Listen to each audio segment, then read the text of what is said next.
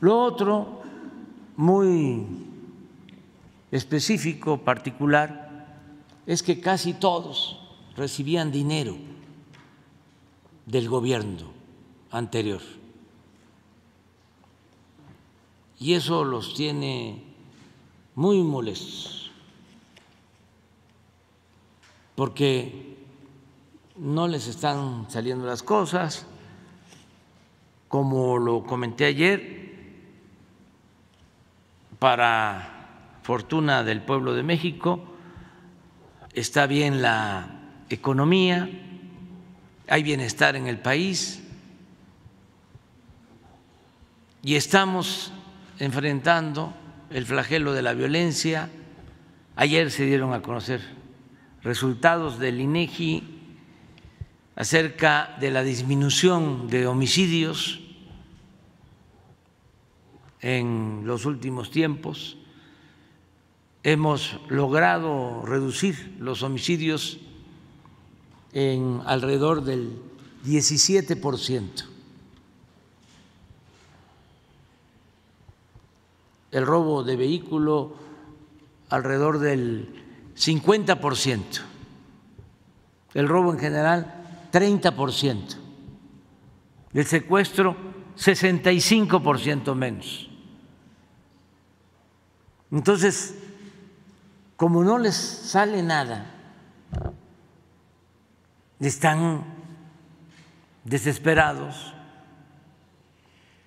Y es importante que se sepa que son capaces de mentir,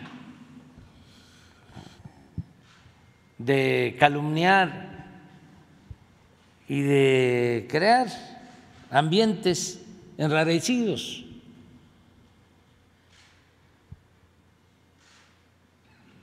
Eso también es eh, muy característico de la derecha,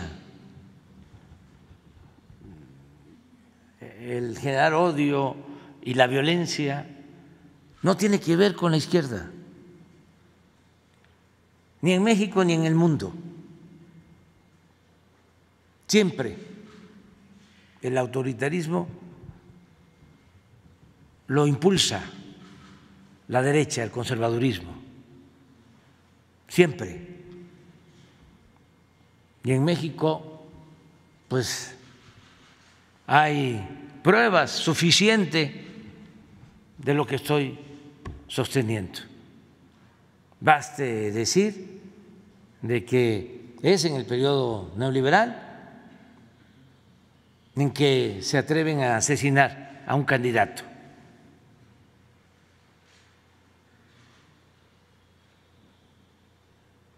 a Luis Donaldo Colosio.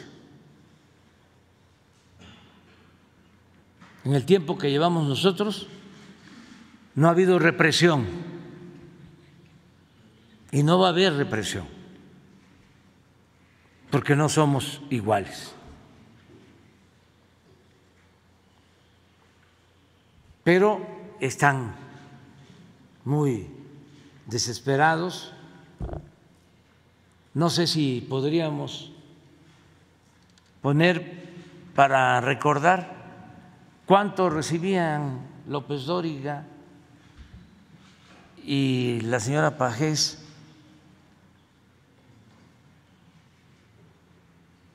y otros más del gobierno anterior.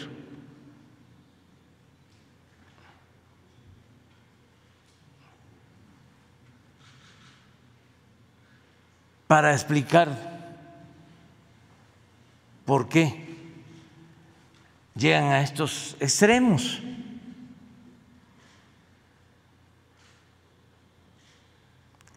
Y también decirle a la gente, al pueblo, a quienes simpatizan con la transformación de México que no debemos caer en ninguna provocación.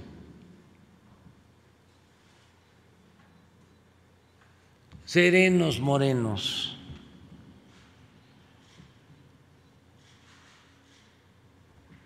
Es cierto que la mayoría de los medios están en contra de nosotros, los medios de manipulación, porque pertenecen a la oligarquía corrupta que dominaba el país, con honrosas excepciones. Es cierto, y bombardean en la radio, en la televisión, en los periódicos. Y pueden llegar a, aturdir y hacer dudar. Pero no hay nada que temer y debemos de tener confianza en el pueblo que es sabio que está muy consciente, como aquí lo dijo Elizabeth, muy politizado, porque hemos llevado a cabo desde hace muchos años lo que conocemos como revolución de las conciencias. Y eso ha llevado a un cambio de mentalidad en nuestro país que yo creo que es uno de los mejores aportes de nuestra lucha, el cambio de mentalidad de nuestro pueblo. Porque cuando cambia la mentalidad del pueblo, cambia todo. Entonces, no estemos dudando, vamos muy bien Vamos muy bien. Y como se trata de un asunto, vamos a decir, delicado, creo yo que vale la pena, aunque me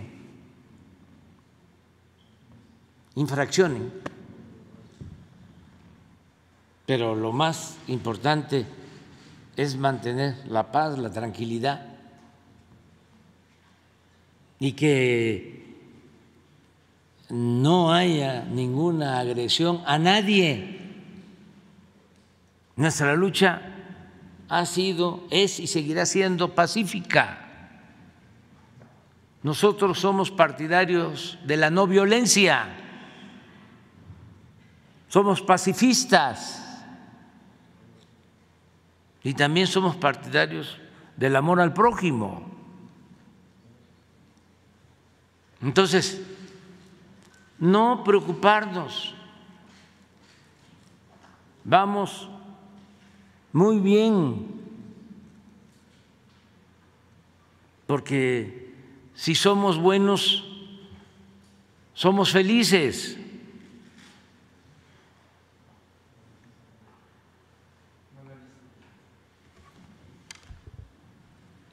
Eso es lo que cobraban antes, a ver.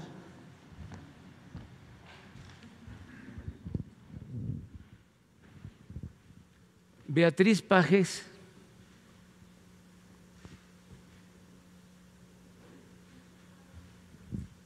Del 13 al 18, 57 millones.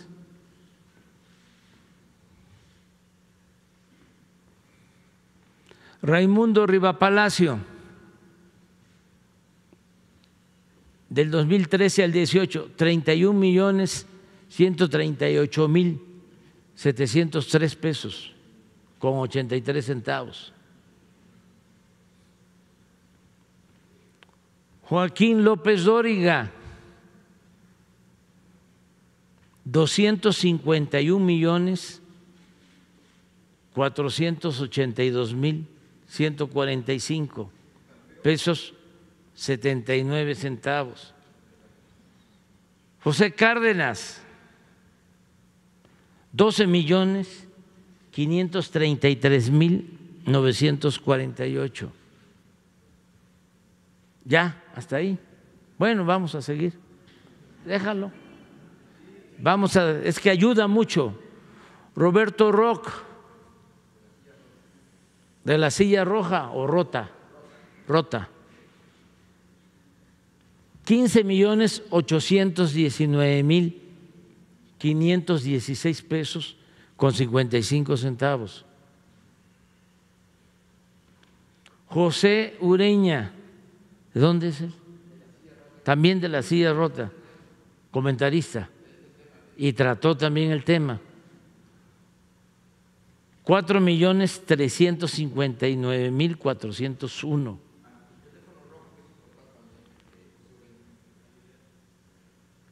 Animal político, estos traen la escuela del reforma.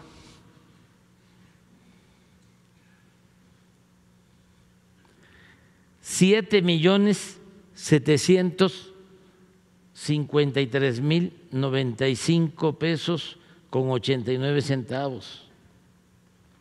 Salvador García Soto, este es universal, ¿no? Esto es muy minucia, 412 mil 315 pesos con 59 centavos. Estos son los que están tratando el, el tema.